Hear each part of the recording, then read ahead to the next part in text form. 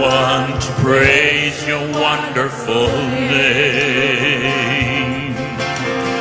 Lord, I want to praise your wonderful name. For everything you've done, for everything you do, and for the future you've prepared.